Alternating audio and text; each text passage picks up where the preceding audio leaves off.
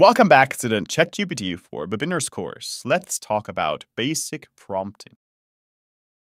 So, basic prompting.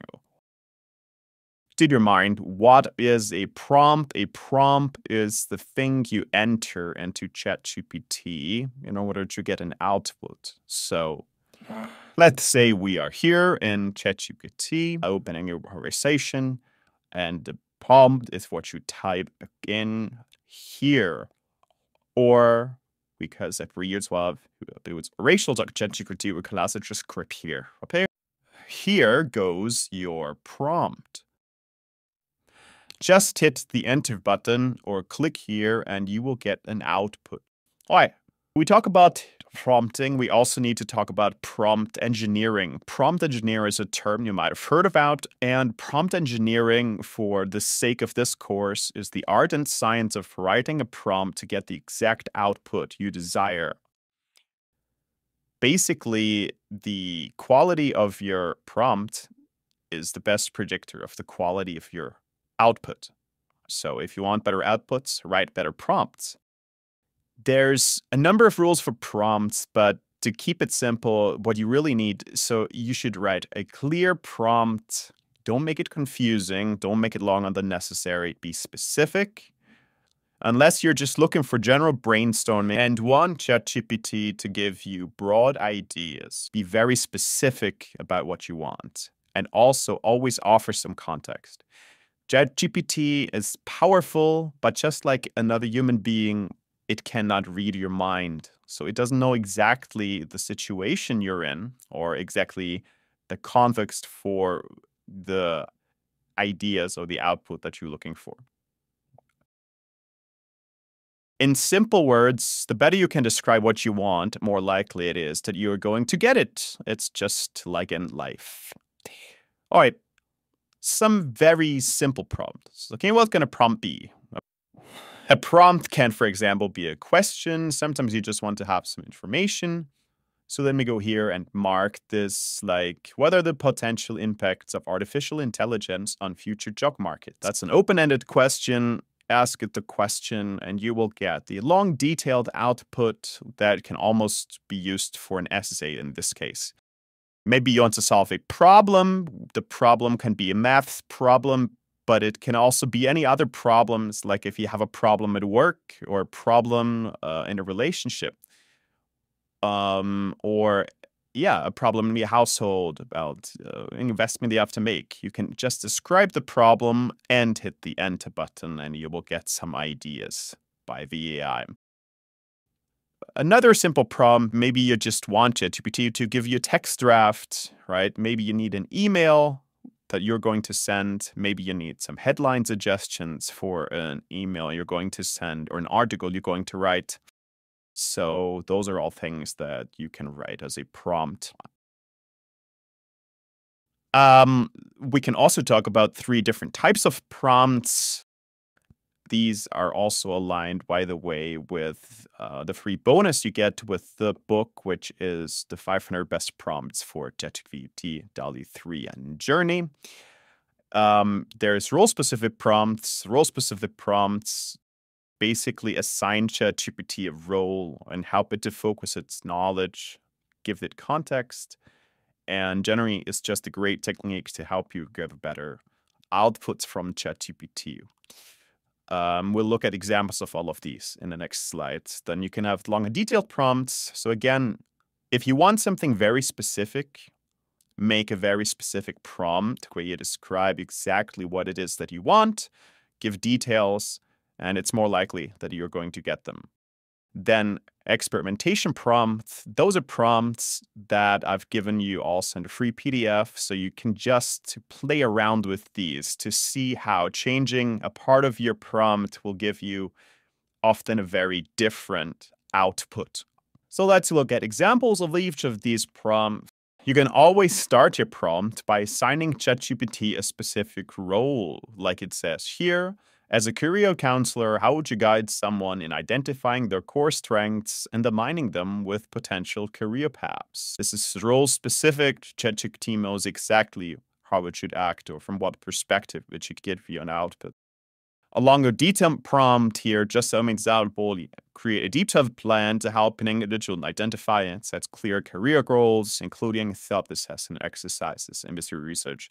So here, again, first you tell it that you want a very detailed plan, and you also give it a number of items or number of sections that you want in the output. Okay, you give it a very clear guidance, and as that, you basically determine the structure of the output that you want to get. All right. If you know that you want something specific, the better you can tell ChatGPT what you want, the better it will be giving you that output. There we have experimentation prompts. Experimentation prompts like what are effective ways to identify personal passions and interests that can translate into career opportunities. So we're still in the topic of uh, career planning, but you can basically use this as a formula also. Like, what are effective ways to write blog articles about artificial intelligence that I could use on my blog?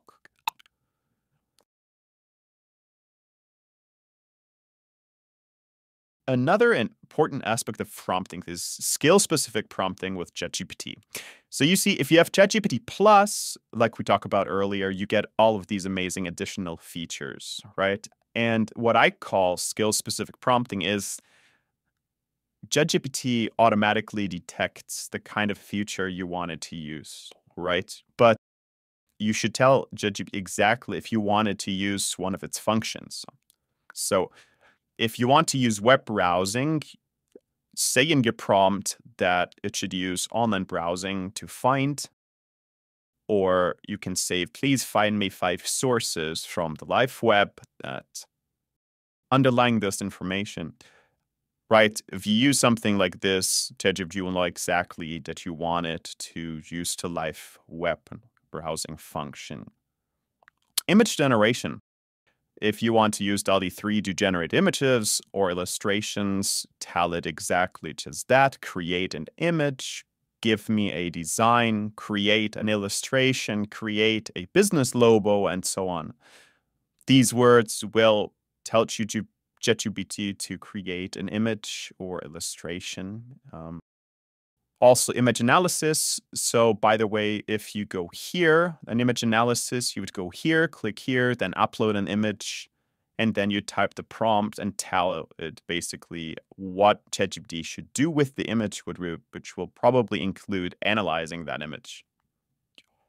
And then finally, if you go on YouTube, a lot of YouTubers will talk about the perfect prompt structure. Now, personally, I'm not the biggest fan of this because ideally you should always go by what you really need right so whether if you want a book outline your problem will be very different than if you need a solution to a maths problem or you want to create a travel plan for your next holiday but it does help to think of a prompt to contain certain elements and that's where the idea of a prompt structure comes in handy.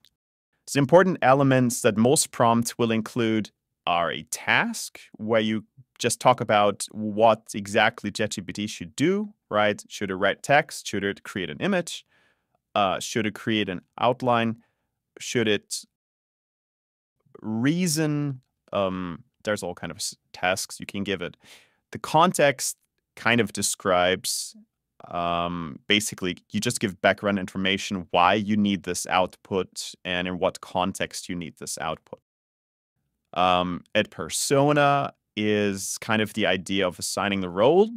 So you kind of tell ChatGPT what persona it will take on to create this output, which also helps it to get additional context. Then format, that's kind of the deliverable. You could also say that you're looking for, right? So if you're looking for a blog post, for a report, for a travel plan, for a uh, cooking recipe that it would go here. And the tone is basically you can tell ChatGPT to write in any specific tone that you're looking for. So this could be like here, informative and friendly. It could be professional and formal. It could be casual. It could be funny and witty. You name it. right? So the thing is also if you don't define these things, ChatGPT will go with something generic, which could be what you want, but also may not be. Um, and of course, you can also always uh, edit an existing output for a different tone or for a different format or for a different persona. So you can also do this once you have gotten an output on ChatGPT. Here, I won't read them, but you just have an example or you have two examples of prompts that use this structure. All right. Those are the basics of prompts. Now, my general recommendation is see prompting as an iterative process so you don't have to write a perfect prompt. A prompt just write, it's a chatbot. So basically, it's like you can have the conversation with ChatGPT and in the course of the conversation and based on the output you get, you can always refine your prompts. And again, it's an iterative process. So just keep working with ChatGPT until you get the output that you want.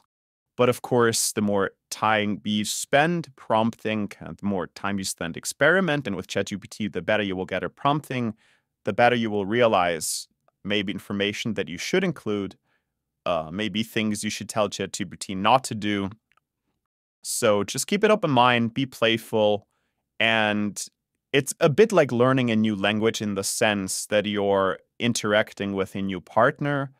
And yeah, over time, your communication will improve. And if you get an output that is really not what you want, then just see it as a learning experience and don't think that ChatGPT does the work. Again, you just have to refine your communication skills with this AI.